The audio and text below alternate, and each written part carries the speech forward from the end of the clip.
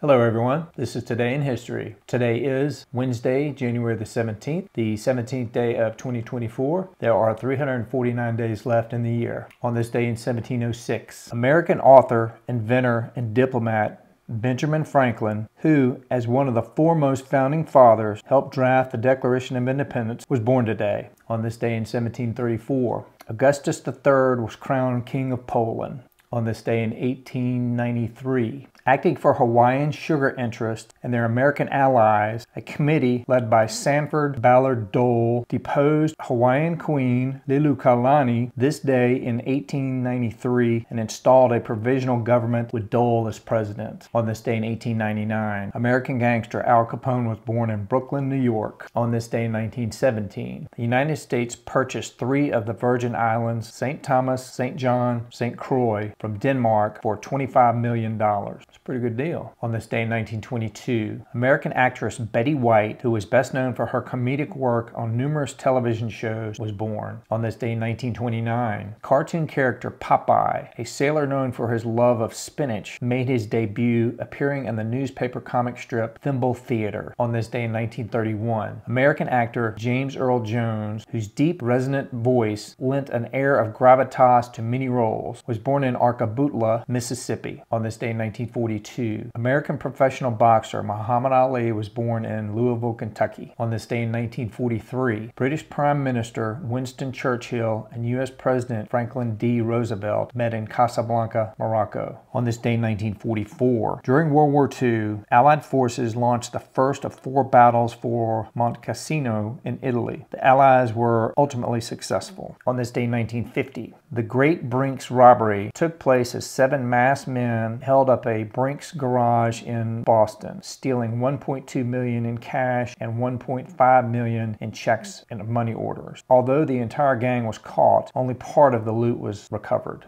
On this day, 1955, the submarine USS Nautilus made its first nuclear-powered test run from its berth in Groton, Connecticut. On this day, 1961, in his farewell address, U.S. President Dwight D. Eisenhower warned that the United States must guard against acquisition of unwarranted influence by the military industrial complex. He felt that if left unchecked, it would undermine American democracy. Too bad we didn't heed that advice. On this day in 1966, the Simon & Garfunkel album Sounds of Silence was released by Columbia Records. On this day in 1977, convicted murderer Gary Gilmore, 36, was shot by a firing squad at the Utah State Prison in the first U.S. execution in a decade. On this day in 1991, Harald V became King of Norway following the death of his father, Olav V.